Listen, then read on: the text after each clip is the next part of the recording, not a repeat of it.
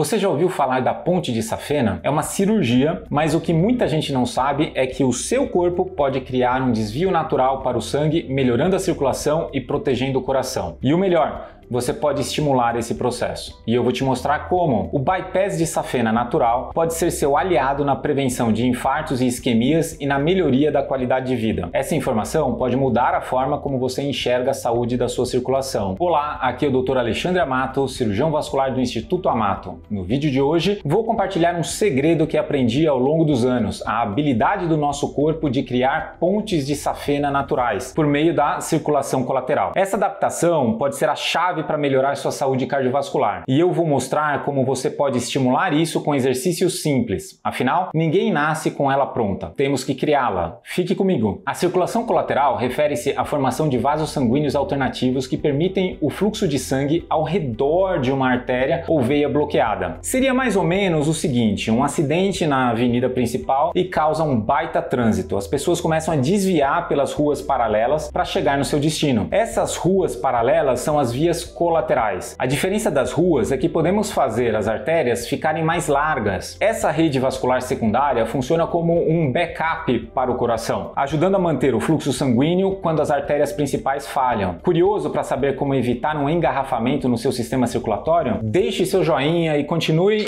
com a gente nessa jornada de descobertas. É uma resposta adaptativa do organismo para manter a perfusão tecidual adequada, mesmo diante de obstruções significativas. Por exemplo, no coração, quando uma artéria coronária está bloqueada, vasos colaterais podem se desenvolver para fornecer sangue ao músculo cardíaco afetado. Na perna, quando falta sangue, temos várias vias alternativas que podem ser estimuladas. Pensando nisso, a ponte de safena é o nome de uma técnica cirúrgica utilizada para desviar o fluxo sanguíneo ao redor das artérias coronárias bloqueadas, utilizando a veia safena da perna. A veia safena serve então como um cano, tirando o sangue de onde tem e levando para onde não tem. Curiosamente, o corpo possui a capacidade de criar suas próprias vias alternativas naturais através das redes de compensação. Aqui, a vantagem da idade se inverte. Idosos tiveram mais tempo para desenvolver a circulação colateral do que os jovens. Por isso, o infarto cardíaco nos jovens é muito mais grave. A maioria das vezes não teve tempo de criar alguma via alternativa para o sangue chegar. Atletas têm mais fluxo alternativo do que os sedentários. Isso é impressionante. Seu corpo começa a criar esses vasos anos antes de um bloqueio acontecer. Quando uma artéria se torna estreitada ou bloqueada por qualquer razão,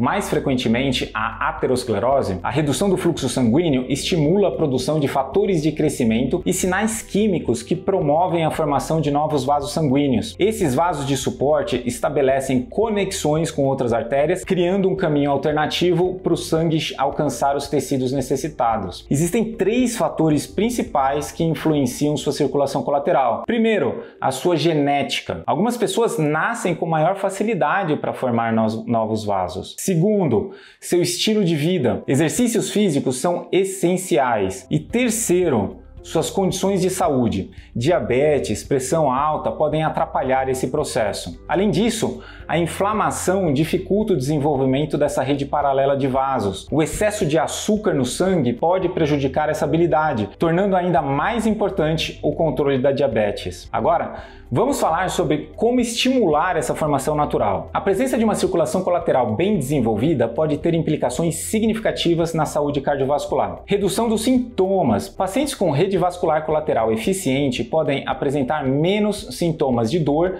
mesmo com obstruções coronarianas significativas. Proteção contra infarto. Vasos alternativos podem limitar a extensão de danos ao músculo cardíaco durante o um infarto, fornecendo fluxo sanguíneo alternativo. Mas isso não é só para o coração, pode ser para a perna ou para qualquer órgão. Prognóstico melhorado. Estudos sugerem que uma circulação de compensação robusta está associada a melhores desfechos em pacientes com doenças arteriais obstrutivas. E agora vem a parte mais importante: como podemos estimular esse processo de forma natural e segura? Um dos fatores mais eficazes para estimular o desenvolvimento dessa rede vascular colateral é o exercício físico regular. A prática de atividades físicas as aeróbicas, aumenta a demanda de oxigênio pelos músculos, promovendo a liberação de fatores de crescimento vascular, como o VEGF, que é o fator de crescimento endotelial vascular. Essa proteína estimula a produção de novos vasos sanguíneos. Esses fatores são cruciais para a angiogênese, que é esse processo todo pelo qual novos vasos sanguíneos são formados. Quando realizamos exercícios de intensidade moderada a alta, o fluxo sanguíneo nas áreas afetadas pela obstrução aumenta, gerando uma maior força e pressão na parede do vaso. Isso desencadeia uma série de reações bioquímicas que estimulam a remodelação vascular e a expansão dos vasos colaterais. Isso é diferente daquela vasodilatação momentânea que eu vivo falando, que é, ela é uma remodelação desses tubos, adaptando-os para serem mais eficientes. Por isso, Programas de reabilitação cardiovascular frequentemente incluem exercícios monitorados como parte do tratamento. Além disso, estudos mostram que indivíduos fisicamente ativos apresentam maior densidade de vasos colaterais comparados a pessoas sedentárias. Mesmo em condições de obstrução significativa, essas ramificações vasculares desenvolvidas através do exercício físico podem melhorar a perfusão tecidual, reduzindo os sintomas de isquemia, que é a falta de sangue e oxigênio nos órgãos, e melhorando melhorando então a qualidade de vida. Incorporar exercícios regulares à rotina não apenas promove a saúde cardiovascular, como também funciona como um tratamento natural para estimular a criação dessas pontes de safena naturais. Mas a questão é, quem já tem lesão cardíaca tem que fazer os exercícios monitorados pelo médico. Não façam como um paciente meu que todo ano era alertado que tinha que fazer exercício, mas não fazia. Quando já estava mais idoso, um dia ele sentiu dor no peito, marcou a consulta e ao mesmo tempo começou a fazer o exercício. Mas ele antes era sedentário. Na verdade, ele estava infartando e o exercício nessa fase acabou piorando muito a sua situação. Além disso, Tomar muita água melhora a circulação. A desidratação pode tornar o sangue mais espesso, dificultando a sua circulação. De todas essas dicas que falei, qual você acha que é a mais fácil de aplicar no dia a dia? Me conta nos comentários. Inscreva-se agora no canal para mais dicas que vão além da ciência e transformam o conhecimento em saúde prática para você e sua família. Mostrei que o nosso corpo é capaz de desenvolver sua própria circulação colateral. Isso é prova da incrível adaptabilidade do nosso sistema cardiovascular. Uma maravilha da natureza. Compreender e potencializar esse mecanismo natural pode abrir portas para novas abordagens terapêuticas no tratamento de doenças vasculares. Então,